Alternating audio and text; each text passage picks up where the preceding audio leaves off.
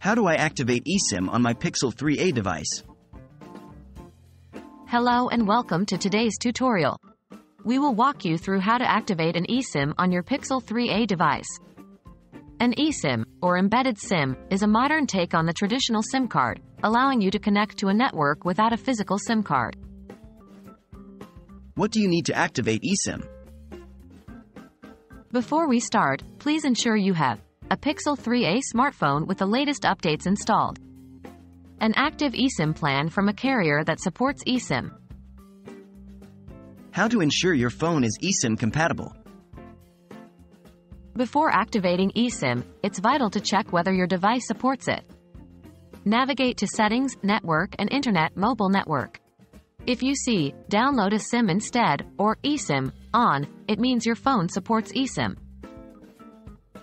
How to activate your eSIM? Here are the step-by-step instructions. 1. Turn on your Pixel 3a device. 2. Navigate to Settings, Network, and Internet Mobile Network. 3. Tap Download a SIM instead. 4. Tap Next until you see a screen with Finish at the bottom. If your carrier has an app, you might be asked to download it from the Google Play Store. 5. Follow the on-screen instructions given by your carrier.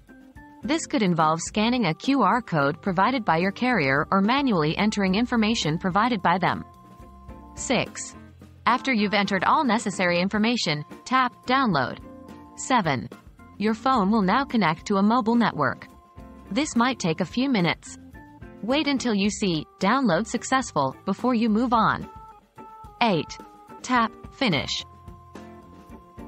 What to do after activating your eSIM? After activating your eSIM, remember to restart your phone to ensure all settings take effect properly. If you're switching from a physical SIM card to an eSIM, you may want to remove the physical SIM from your device. And that's it. We hope this video has made activating your eSIM on your Pixel 3a a breeze.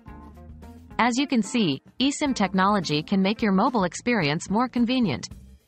Thanks for watching and enjoy your newly activated eSIM.